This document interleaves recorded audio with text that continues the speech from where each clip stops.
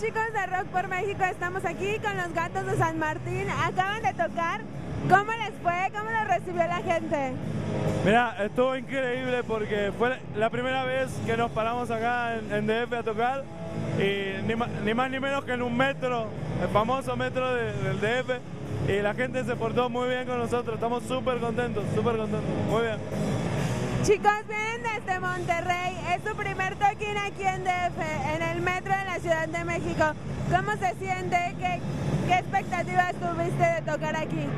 No, pues fue muy chido que nos pudieran abrir el espacio de tocar aquí y hasta eso nos gustó mucho que la gente, aunque no era muy el género que, que tocamos nosotros al que están tocando aquí, pero se juntó gente y estuvo muy, muy chido la, la sensación, estuvo chido. Chicos, cuéntenme, ¿tienen discos? Ya vi que tienen un disco y que lo regalan.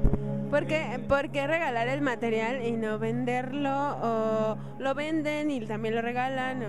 Sí, es que al, al, revés de lo que hacen muchos grupos, o sea, nosotros no... Lo que queremos es difundir nuestra música, o sea, no queremos lucrar ni ganar dinero de eso, este, porque sabemos que es como que mejor, vale más para nosotros que, la, que una persona escuche nuestras canciones y que se prenda con nuestra movida que ganar 50, 100, 150 pesos en un sí. Prefiero, preferimos regalarlo y, y que la gente lo, lo, disfrute. ¿Hace cuánto que se formaron los gatos de San Martín? Hace como un par de años, en el 2008. Ya. Este es el único disco que tienen, tienen otro, este, tienen videos, demos. Sí, e, este es el, el, el primer disco que tenemos y lo estuvimos promocionando por el norte de México y ahora venimos aquí a, DF. Este, tenemos un video que es el video de Gatos de San Martín, que es la rola que se llama igual que el grupo. Este, y para que lo chequen ahí en YouTube, en el Facebook, nomás googlean ahí Gatos de San Martín y sale todo. Chicos, ¿me pueden definir en tres palabras a los gatos de San Martín? Mucha buena música. Pues, diversión, música y amor. ¿Me puedes definir en tres palabras lo que significa para ti Gatos de San Martín? En tres palabras lo que significa para ti Gatos de San Martín. diversión, energía optimismo, porque a veces nos va a tocar de que no haya ni una persona o a veces muchas, pero pues la idea siempre es de que la persona que esté, que sea nueva y transmitir nuestra música. Entonces, en tres palabras sería lo pasado.